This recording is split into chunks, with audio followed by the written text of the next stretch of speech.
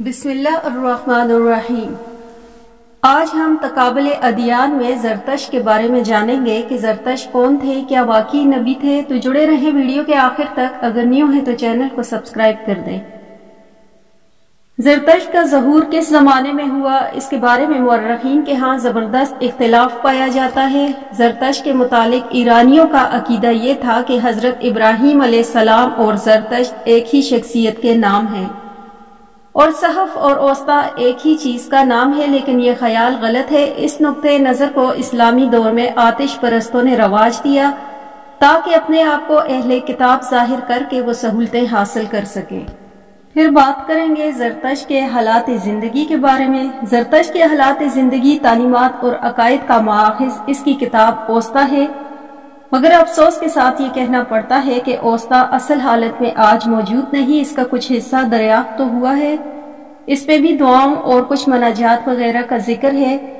इसलिए जरतश के हालात ज़िंदगी तालीमत का दूसरा माखज कदीम अरबी ज़ुबान में मुसलमान मर्रखीन की कुतब है, जिनमें मज़हब का कुछ ज़िक्र और जरतश की पैदाइश के बारे में ज़िक्र किया गया।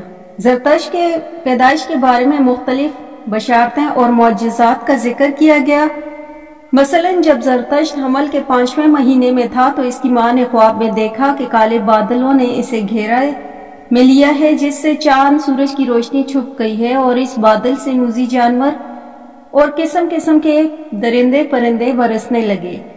इनमें से एक दरिंदे ने दगोदिया का शकम फाड़ कर बच्चा निकाल लिया और बहुत से दरिंदे इसके गिर जमा हो गए।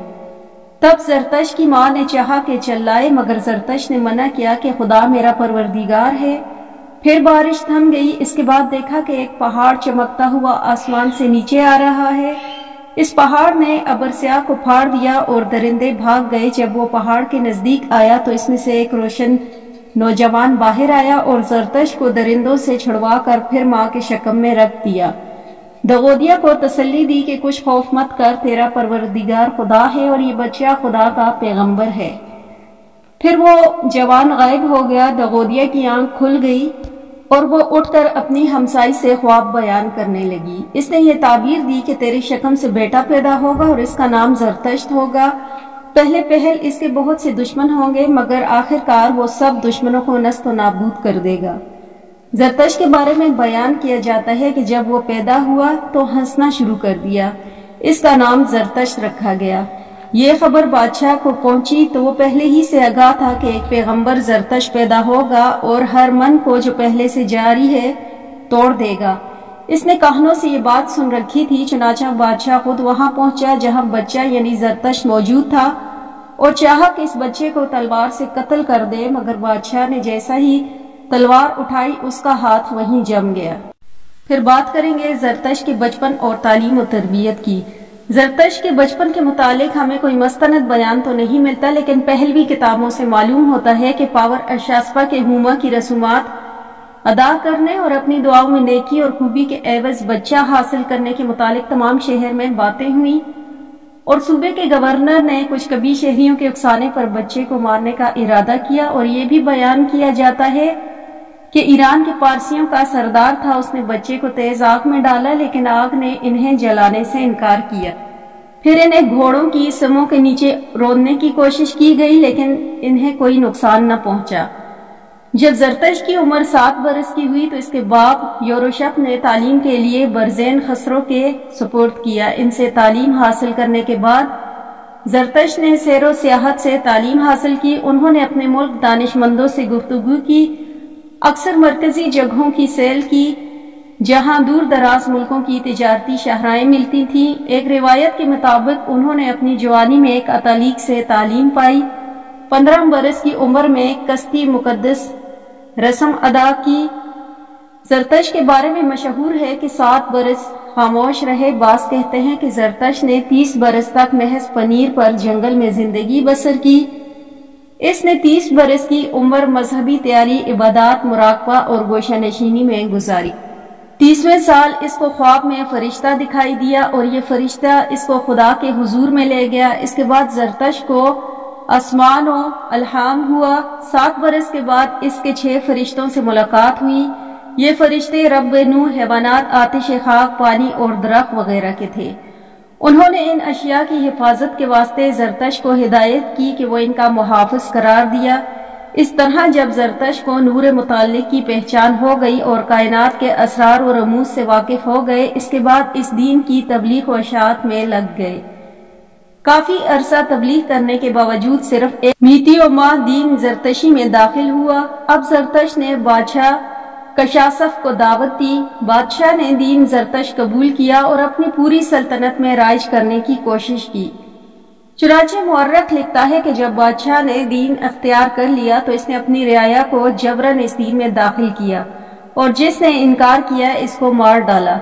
इस तरह दीन जरतश ईरान में फैलता गया और अहले ईरान का ये कवि हीरो बन गया।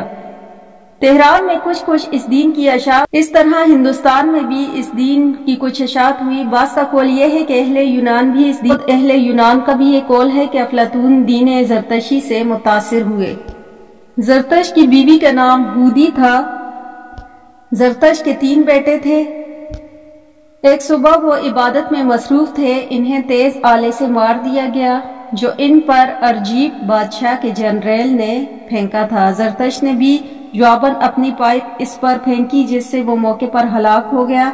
इस वक्त जरतश की उम्र सतहत्तर बरस थी। फिर बात करेंगे जरतश के अकीदे की। जरतश सानियत के कायल था। इसका दावा था कि कायनात में दो ताकतें या दो खुदा कार फरमा है। एक अहूरा मजदा है, जो खाले के आला और रूह हक को सदाकत है। और जिसे नेक रूहों की इमदाद व अनाथ हासिल है। दूसरी अहर मन जो बदी झूठ और तबाही की ताकत है, इसकी मदद बदरूहें करती हैं। इन दोनों ताकतों या खुदाओं की अजल से कशमकश जारी है और अवधि तक जारी रहेगी। जब अहूजा मजदा का पल्ला भारी हो जाता है तो दुनिया अमन सुकून खुशहाली का गहवारा बन जाती है और जब अहर मन गालिब आ जाता है तो दुनिया फस को फजूर, गुनाह, असिया और इसके नतीजे में आफात और अर्जी और समावी का शिकार हो जाती है। जरतश की शख्सियत के बारे में मर्रखीन के यहाँ इख्तलाफ पाया जाता है। बाज जरतश को हकीम, सियासतदान और बाज पैगंबर और बाज इसे खुदा का दर्जा देते हैं। बाज मर्रखीन की राय है कि जरतश हकीम भी थे। इलामा शहर सादस्तानी ने यह लिखा है कि बामुकाम जमावट जरतश ने एक अंधे की आँख में नबताती अर्क डाला और इससे इसकी असल रोशनी बहाल हो गई। अहले यूनान के मर्रख ये लिखते हैं कि जरतश ने तबियात, हियत और मादनियात पर किताबें लिखी और पहलवी किताब वंकारत में लिखा है कि तबाबत और इल्म कयाफा में जरतश को कमाल हासिल था। क्या जरतश पैगंबर थे? इस बारे में भी मर्रखीन के यहाँ इख्तलाफ पाया जाता है। बास के नज़दीक जरतश अल्लाह के पैगंबर थे और खुदा ने इनको अहले ईरान की तरफ़ भेजा ताकि वो खुदा की तालीम दे लोगों को बुराइयों से रोकें और इनको राह रास्त पर लाएँ। का ख्याल है कि जरतश ने वाजह तौर पर तोहीद का तस्वर पेश किया और दीगर तालीमत में भी अलहामी अदयान जैसी ये पैगंबर थे बाज अरब मर्रखीन उन्होंने जरतश को बनी इसराइल के एक पैगंबर आर्मिया का शगिर करार दिया। जरतश के बारे में ये गुमा किया जाता है कि वो फलस्तीन के अहले किताब में से थे और आर्मिया नबी के शागिर्दों में से थे। इस तरह एक अरबी मर्रख ने यह साबित किया कि जरतश एक नबी थे और उन्होंने तोहीद की तालीम दी। जहाँ तक जरतश के पैगंबर होने का ताल्लुक है तो इसके बारे में कुरान हदीस में कोई ज़िक्र नहीं और ना आया है और ना किसी वाक़े से इसकी तस्दीक हुई है।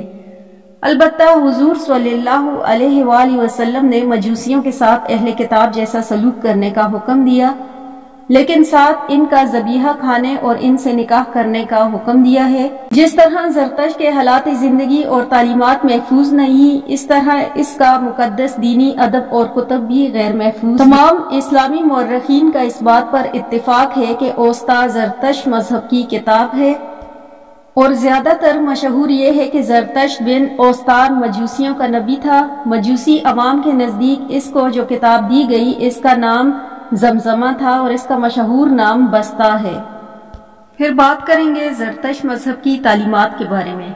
जरतश की तस्वर तोहीद के बारे में खासा अबहम पाया जाता है। बाज मुसन्फिन के मुताबिक जरतश अकीद तोहीद पर कायम रहे और खुदा को एक मानते थे, जैसे आहू रमस्त या मुकदस रूह का नाम देते हैं। बाज महक्कीन के मुताबिक जरतश सनियत के कायल थे और दो खुदाओं की तालीम देते थे। जिसमें से एक रूह खैर और दूसरी रूह शर थी। बास के मुताबिक पहले जरतश अकीदे तोहीद पर कायम थे, लेकिन बाद में सानमियत की तालीम देने लगे। जरतश की तस्वर आला पर मज़हब जरतश मौजूदा मज़हब में अपनी सानमियत के खास तस्वर रखता है, जो इसे दूसरे मज़हब से मुमताज़ करता है। जरतश अजहब में अगरचा तोहीद परस्ती का पहलू मौजूद है।